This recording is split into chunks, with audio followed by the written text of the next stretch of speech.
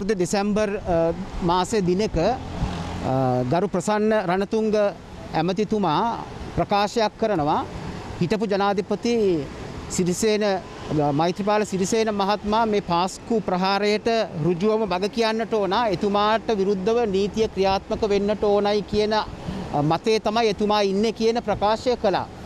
ඉති ඒක නිසා ඒ වගේ වගකීමක් දරන කැබිනෙට් අමාත්‍යවරයෙක් කියපු ඒ ප්‍රකාශය තුළ බොහොම බහරදූර වගකීමක් තියෙනවයි කියලා අපි දැක්කයි. ඒක නිසා අපි දෙසැම්බර් මාසේ 10 වන දින අපරාධ පරීක්ෂණ දෙපාර්තමේන්තුවට පැමිණිල්ලක් ඉදිරිපත් කෙරුවා.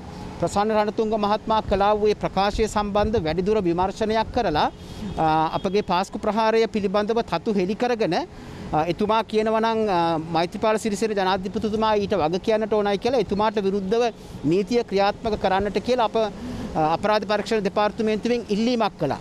Uh, ඉතින් uh, අපරාධ පරීක්ෂණ දෙපාර්තමේන්තුව අපට දන්වලා සිටියා අද දවසේ uh, මෙහෙට එන්නට කියලා ඒ පිළිබඳව ප්‍රකාශයක් අපගෙන් සටහන් කරගන්නට. ඒක නිසා තමයි අපි මේ ස්ථානයට පැමිණියේ උදේ 9ට ප්‍රකාශ සටහන් කර ගැනීම සිදු කරනවා අපරාධ පරීක්ෂණ දෙපාර්තමේන්තුවේදී.